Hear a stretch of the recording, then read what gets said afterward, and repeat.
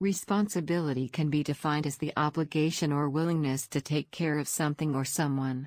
This can be said in a general sense, such as taking care of one's children, but it can also be taken in a more legal context, such as being liable for damages and pain and suffering resulting from an accident.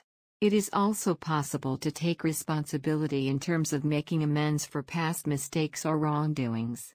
A person who is responsible for their actions or behavior is willing to take responsibility for themselves through their decisions and actions. This word typically means that the person has taken charge of themselves and will not blame others, but rather take responsibility for what they have done. Responsible, as the word suggests, implies that one is taking ownership of their actions. It can be used to refer to a person or group who has taken on accountability for an action or decision.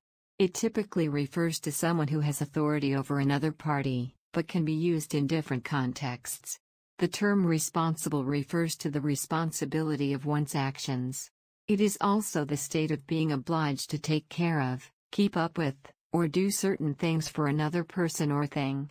A person who is accountable and liable for an obligation or liability.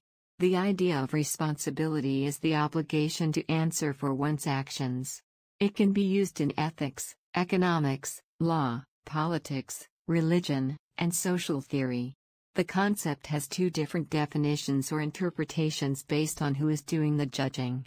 The first definition states that the individual is responsible for their own actions. They are to take ownership of what they have done and not point fingers at anyone else. Responsibility refers to the moral obligation to meet certain obligations, usually associated with a task or position. It is the duty or obligation to provide care for somebody or something. Responsibility is a moral, cognitive, and social state of being responsible. Responsibility typically involves having a duty to another being for their actions or to oneself for one's actions, a sense of ownership of an offense, a sense that one has been wronged by someone else or by oneself.